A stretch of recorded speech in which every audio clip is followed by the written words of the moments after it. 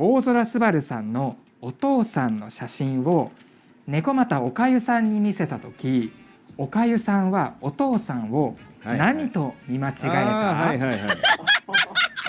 まあでも僕お父さん配信見てますから、でその後の雑談も見てますから。いやちょっとガチすぎる。なんか変な世界できました。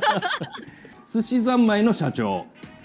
すばるさん正解をお願いします正解は、寿司三昧の社長です。ほらほらほら。大正解、これをいえー、スバルさんがおかゆさんに写真見せた時に、おかゆさんは「えどっち?」って言ったんですよね。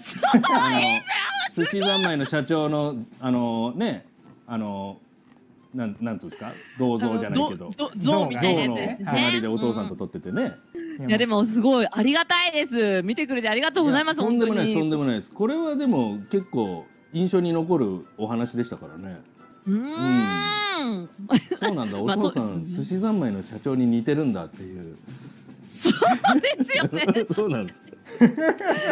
そうですよね、はい。しかも銅像と間違えられてますから。そうですね。えどっち？って言われたのは。すげえ見てるじゃんっていうコメントがね、はい。あのどんどん来てて、あ、そうなんですよ。あの皆さん、僕すげえ見てるんですよ。